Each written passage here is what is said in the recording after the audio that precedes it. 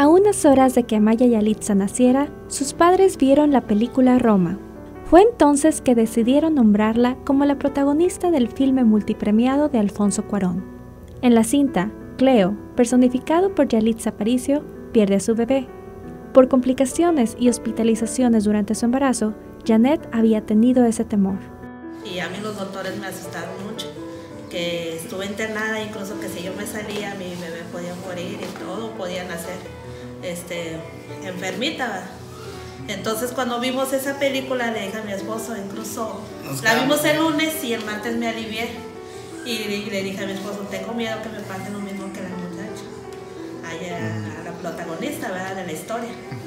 Le digo, porque... Nos volteamos a ver los dos. Y me puse a llorar y dijo, no, pues lo que Dios quiera, ¿verdad? Y dijo, pues si todo se llega a salir bien, ¿verdad? le ponemos Yalisa, se, se oye bonito el nombre, le dije, pues sí. Y así fue lo, como nació el nombre de la pequeña. Amaya Yalitza nació el 15 de enero y tres días después fue llevada al registro civil. Hoy es una bebé sana. Alondra e Isaac son sus hermanitos. No, nada, que la lata. No llora cuando la bañan. No, Es una niña muy linda, y aparte de que está bonita, es muy, muy sana. Muy sana, no me llora, nada, nada más para sus comidas, que es hora, ¿eh? que pide ella. Para Janet, su bebé es una guerrera que se aferró a la vida.